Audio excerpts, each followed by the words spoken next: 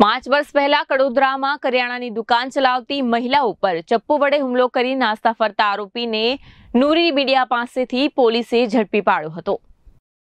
ગત તારીખ ત્રીસ એપ્રિલ બે હજાર અઢારના રોજ કડોદરા હરિધામ સોસાયટી ખાતે કરિયાણાની દુકાન ચલાવતી મહિલા માધુરી શર્મા સાથે આરોપી મનીષ રાજદેવસિંઘ રાજપૂતના સગા ભાઈનું બે હજાર સત્તરમાં ખૂન કરનાર આરોપીઓને ઓળખતા હોવા છતાં નામ નહીં બતાવવાની નજીવી બાબતે બોલાચાલી થઈ હતી.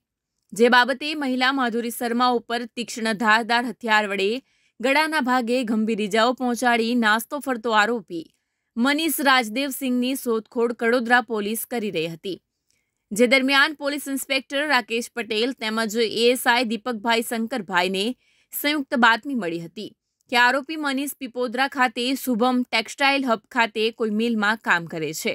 અને તે પોતાના સગાને મળવા કડોદરા નૂરી મીડિયા પાસે આવવાનો હોવાની બાતમી મળતા વોચ દરમિયાન આરોપી મનીષ આવી પહોંચતા તેની અટક કરી આગળની તપાસ હાથ ધરવામાં આવી છે.